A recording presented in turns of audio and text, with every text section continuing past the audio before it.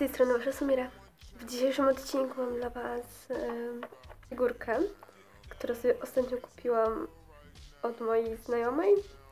Bardzo się cieszę i nie mogę się doczekać, aż ją otworzę. Także bez zbędnej gadania przejdę do rozpakowywania paczki. To jest ta paczka, już ją otwieram. To jest shorthejka, którą sobie zamówiłam. A Ona trochę pozdrana na oczku, na nosku oraz na proszczku ale reszta jest w bardzo dobrym stanie. Ma ona czerwony magnesik. Oraz jak widzicie jest oryginałem, bo ma y, przezroczystą różeczkę. No i w sumie nie widziałam jeszcze jej podróbki. Główkę ma w dość dobrym stanie, więc nie jest źle. Jak widzicie, gdzieś ma te... Kurde, nie widać. Y, cienie.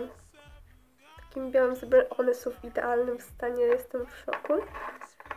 Strony może tak bardzo nie widać, ale z tej strony jest to widoczne. Bardzo mi się podoba ta figurka i będzie występowała w moim nowym serialu, którego planuję zacząć nagrywać już za jakiś miesiąc. Muszę napisać tylko scenariusz, bo już historię po części mam wymyśloną. Także możecie się spodziewać serialu, który będzie właśnie z tą figurką, gdyż tylko i wyłącznie po to ją kupiłam. Więc to by było na tyle. Dziękuję za obejrzenie i do zobaczenia w kolejnym odcinku.